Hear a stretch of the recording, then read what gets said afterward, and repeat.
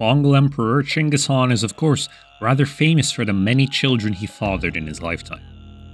Of these, none are more well known than his four sons with his empress and primary wife Borte. These were Jochi, Chagatai, Ögödei, and Tolui. But with Borte, Chinggis had several daughters as well, who played key roles in the early years of the Mongol Empire. These were Kojinbeki, Chechiyegen, Alakabeki, Tümelün, and Altalun. In this series, we are going through what is known of the lives of these women and their role in the Mongol Empire, and how politics over the 13th century affected what we know about them. Over this series, you will hear some cultural practices that may be strange to modern audiences. While it's often said that nomadic women had more rights than other medieval women, this has some caveats. These women, as were the male children, were married off for political purposes to serve the empire, often repeatedly. You will see throughout these videos incidents of what is termed levirate marriage. The nobility in these societies had multiple wives and concubines, and upon the death of the father, his sons and brothers would often marry these wives, with the exception of their own mother. And a daughter of Chinggis Khan was too prestigious and important to be wasted on only a single generation.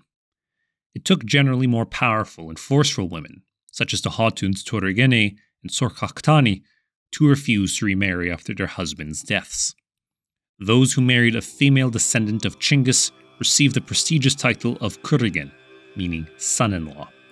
This was the title Emir Timur later used to legitimize his rule in the 14th century and passed on to his own descendants, for this reason, it was something of the official name for the dynasty of the Mughal Empire. In contrast to his four main sons, for Chinggis Khan's daughters, we often have frustratingly little and often contradictory information. Much of this is tied to political developments in the Mongol Empire over the 13th century, as some of these women found themselves on the losing side. Important sources like Rashid al Din will give three entirely conflicting accounts of the same marriage, or from one section of his text to another, the identity of a Küregen and his Chinggisid spouse will change. We have two medieval texts where sections on the daughters were removed and only a fragment remains. In Rashid al-Din's own text, he promises to provide more information on the murder of one daughter, only to never come to the matter again. In The Secret History of the Mongols, a section of the text dedicated to Chinggis Khan listing off lands and peoples assigned to his daughters has been cut down so all that remains is Chinggis stating, Let us reward our female offspring. Much of what you will hear in this series is the only information which survives about them at all. With that being said, let us begin. In this part, we talk a bit about Mum and the oldest daughter, Qojin Beki.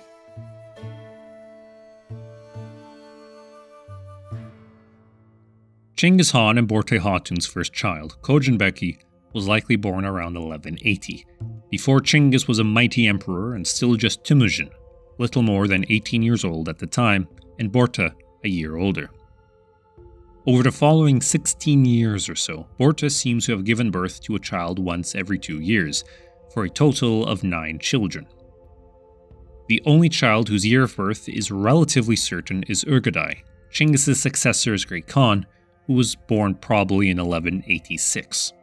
The sources roughly outline the order of the children. Statements such as that Qojin Beki was the oldest, that Alaqa Beki was younger than Ögödei, the third son, and both Alaka and her sister Tümelün were older than Tolui, Chinggis' fourth son, while Altalun is routinely noted as the youngest daughter.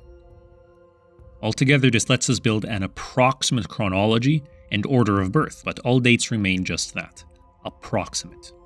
This data also indicates that Borte was rarely too far apart from her husband over some of his most difficult years, and was well cared for, with one notable exception. Perhaps a year or two after Qojin Beki's birth, Borte was abducted and held captive by the rival Merkit people for up to a year. Once rescued, Borte was pregnant with, or had just given birth to, their second child, a boy named Jochi. A cloud hangs over his paternity even 800 years later. However, Chinggis Khan always treated Jochi as legitimate, and seems to have considered him as heir until the early 1220s. Chinggis and Borte continued to have many children after that, and only the children with Borte were ever considered true contenders for the imperial throne. As far as it is known, all nine of Borte's children reached adulthood. This contrasts with Temujin's other wives and concubines, whose children we have even less information about, having one to two children at most, and many who died in infancy. It is unclear when Borte died. A few vague references may indicate she lived into the 1230s, outliving her husband by a few years and dying in her 70s. Borte's lineage was the Kongorad, which became something of an official source of empresses for the Khans. Two other lineages we'll meet in these episodes, the Ikiras and Ulkunut, were sublineages of the Kongorad.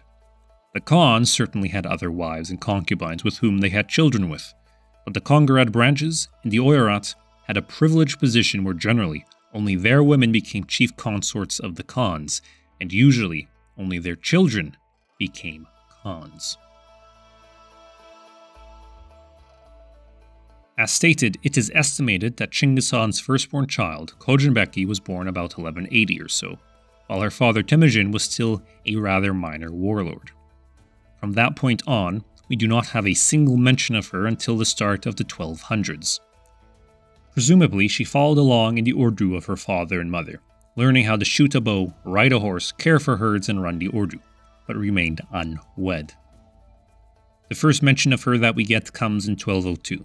That year, Temujin was seeking to establish marriage ties with his ally, the Khan of the Kereyid Khanate, and usually known as the Ong Han. Temujin proposed that Qojin Beki should marry Tughral's grandson, Tusaka, and that Ong Han's daughter, Chaurbeki, should marry Temujin's oldest son, Jochi. The idea was shot down by Ong Han's troublemaker of a son, Sengolnilka, who convinced his father to betray Temujin and to lure him into a trap to kill him. The plot was foiled, and the 22 year old Qojin Beki thus remained unwed. A spouse did come along for her soon after, in the form of an older man named Butu of the Akiras. Butu was an early and very loyal ally of Temujin, joining him in the mid 1180s and had previously been given Temujin's only sister, Temulun, as a bride. That is the last mention of Temulun, and she is presumed to have died soon after. So, nearly 20 years after marrying Temulun, and soon after the establishment of the Mongol Empire in 1206, Butu married his late wife's niece, Qojin Beki. After that, Butu remained a highly prominent commander, leading thousands of troops in the wars against the Jin dynasty, especially under Muqali, the core of whose army was made up of these groups linked by marriage to Chinggis Khan's daughters. The lands of the Akiras were in northeastern Mongolia, where Qojin Beki may have stayed while her husband was on campaign. Or she may have accompanied him, Khans and their generals usually took at least one wife with them on campaign, who was responsible for running the army's base camp, handling supplies and logistical needs while the Khan dealt with battles and sieges. After her marriage to Butu, Qojin Beki receives only sporadic mentions, though we know she had a number of children and grandchildren. Of them, the most notable was her granddaughter Hutuktai, who was the empress of Great Khan Möngke. Qojin's husband Butu died in 1227 soon after Chinggis, and Qojin likely ran their lands until their children came of age. The last mention I found of her dates to 1236, when she and many other members of the imperial family were granted lands across conquered North China to pay them revenues. This ends our first part on the daughters of Chinggis Khan. Next week, we look at the lives of three of these daughters Chechiyegen, Alaqa Beki, and Tümelün.